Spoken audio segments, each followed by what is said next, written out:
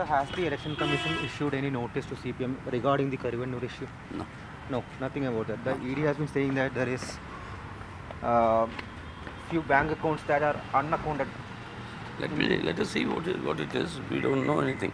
Okay. Nothing has been served to us. okay.